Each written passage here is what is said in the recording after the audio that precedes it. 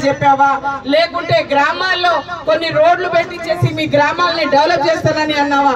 ఎక్కడ ఎలాంటి మాట చెప్పకుండా కేవలం పాదయాత్ర చేస్తేనే ఓట్లు వస్తాయంటే అది మీ భ్రమ. ఖచ్చితంగా ప్రజలు అన్ని గమనిస్తున్నారు. గ్రామాల్లో ఈ రోజు మరి గతంలో చూస్తే ఒక ఎమ్మెల్యే మరి సంవత్సరానికి ఒక్కసారి కనిపిస్తుండే. ఈ రోజు మంత్రివర్లు కూడా కాన్స్టిట్యున్సీలోనే తిరుగుతున్నారు. అలాగే ఎమ్మెల్యేలు కూడా కాన్స్టిట్యున్సీ లో తిరుగుతున్నారు. వాళ్ళ సమస్యలు తెలుసుకొని ముఖ్యమంత్రి గారి దృష్టిలో పెడితే ఆ సమస్యలు తీర్చుకుంటా. మరి మాకు సీసీ రోడ్లు కావచ్చు బీటీ రోడ్లు కావచ్చు నాలీలు కావచ్చు ఇంకా ఏదైనా డెవలప్మెంట్కి మేము ముందుకు తీసుకెళ్తున్నాం. మరి మీరేం చేశారు? సెంట్రల్లో ఉండని మేము అడుగుతున్నాము.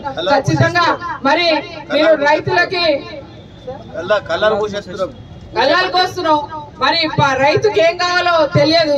నువ్వేం మాట్లాడుతావో నీకు అసలు ఉంటుందో లేదో మైండ్ ఉందో లేదో ఏదన్నా అంటే నువ్వు ప్రజలకు ఏం చేస్తున్నావు చెప్పు. కేటీఆర్ సార్ అంటే ఏదో తీసుకుంటుండని చెప్తావు. ఏం తీసుకుంటుండు? డ్రగ్స్. నీ లెక్క గుట్క తినేటోడు అనుకున్నావు ఏంటి గుట్కా అమ్మేటోడు అనుకున్నావు ఏంటి నువ్వు ఈ రోజు మరి కేటీఆర్ సార్ ఎన్ని స్టేట్ ఎన్ని కంట్రీలు తిరిగాడు ఏమేం కంపెనీలు తీసుకొచ్చావు? నువ్వు ఖాళీ తిట్టుకుంటూనే తిరుగుతున్నావు. నువ్వు మోడీ దగ్గర నుంచి ఏం తీసుకొచ్చావు? అది చెప్పు. మేము అదే అడుగుతున్నాం. ఖచ్చితంగా ప్రజలు గాని రైతులు గాని ఆడబిడ్డలు గాని మిమ్మల్ని బుద్ధి చెప్తారు రాబోయే రోజుల్లో. మరి టిఆర్ఎస్ పార్టీ మళ్ళీ ఫామ్ అవుతుందని ఇంకోసారి చెప్పుకుంటా మరి అవకాశం ఇచ్చినందుకు ధన్యవాదాలు.